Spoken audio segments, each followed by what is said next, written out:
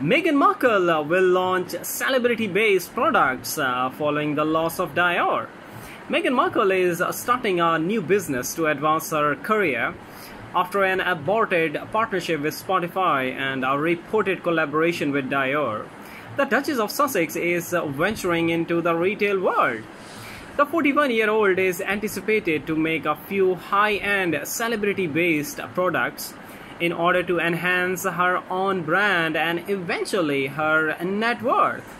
Even the royal family might take heart, royal analyst Tessa Dunlop told Mirror US. After all, the Sussexes pledged last month that they had nothing further to say about their tenure at the firm.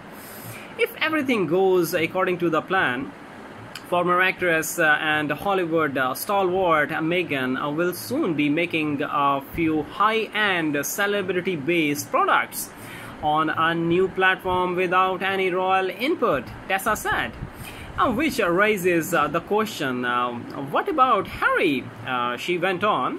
Uh, this comes after uh, Meghan Markle's ambitions uh, to collaborate with fashion house Dior were put on hold when a source claimed that the designer had not approached the Duchess about being a brand ambassador.